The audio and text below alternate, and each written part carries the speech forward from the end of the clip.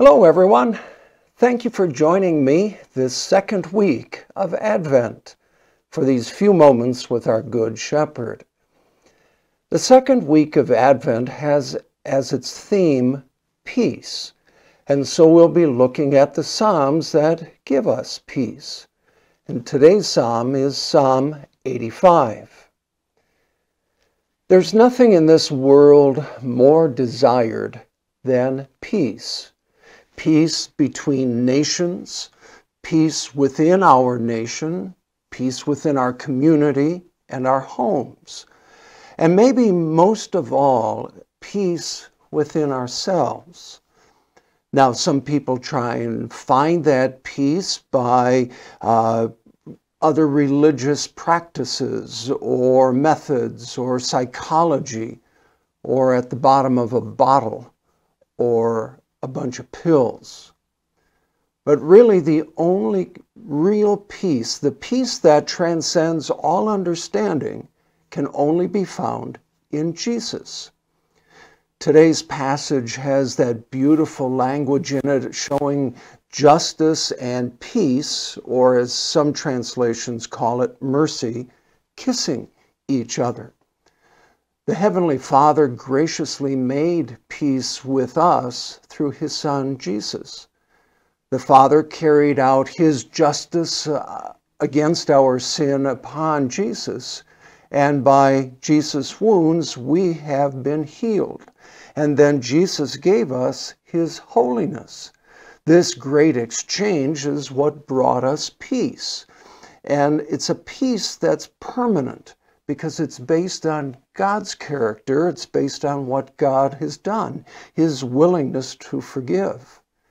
And that means that there will never be a time that God doesn't forgive us through Jesus, simply because then Jesus would have died for nothing.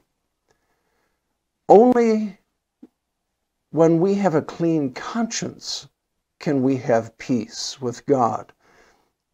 And once we have that peace, there's no reason to worry or to be anxious because we always feel His presence in our lives.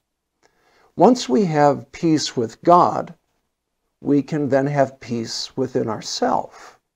Now, I know sometimes people say, I can never forgive myself for what I did. Oh, really? Are you better than God? He has forgiven you. Use His forgiveness to forgive yourself.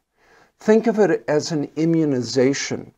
The dead virus is injected into your body. It can't hurt you, but it helps your body build up that immunity toward the worst disease.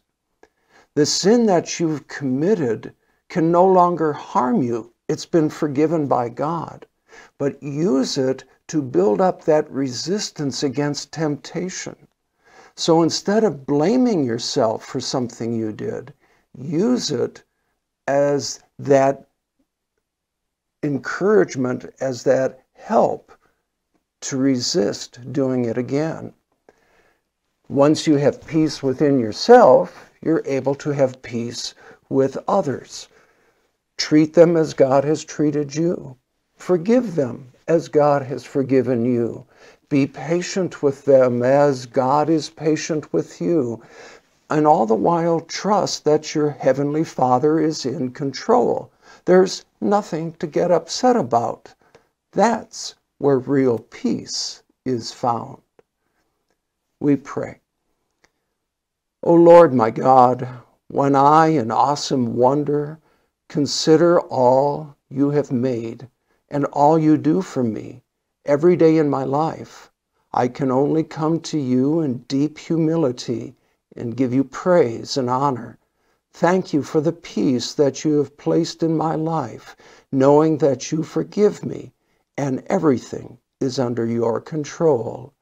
Help me be at peace with others. Amen. Well, my friends, may the God of all peace bless and keep you so that his peace may flourish through you to others.